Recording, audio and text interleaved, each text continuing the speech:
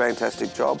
Uh, anyone who enjoys working outside, anyone enjoys working with their hands, that has got a technical side but also just enjoys uh, mateship.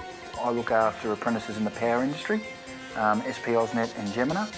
Uh, the union over the years has worked pretty hard to uh, get apprentices back into the system. There's been a lot of neglect over the years by employers and we've worked pretty hard to ensure that commitments are given by employers to take on apprentices, train them correctly and give them a good career. The guys that I look after work in three main streams.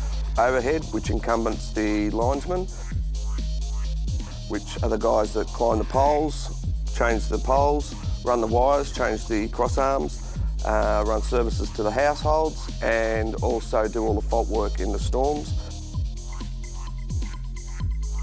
The next avenue of work would be underground. These guys are underground cable joiners which also supply underground uh, power to new estates and also existing houses. Um, similar to the linesmen, they work on both high voltage and low voltage cables.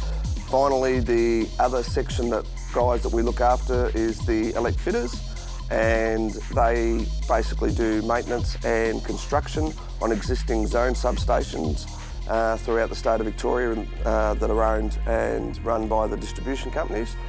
They do fault locating as well as construction. What we try and do is ensure that employers pick up apprentices, train them in the industry. Uh, it is an ageing workforce and apprentices are going to be the future of the power industry. We make sure that they get good wages and conditions Uh, and look after them along the journey through their apprenticeships.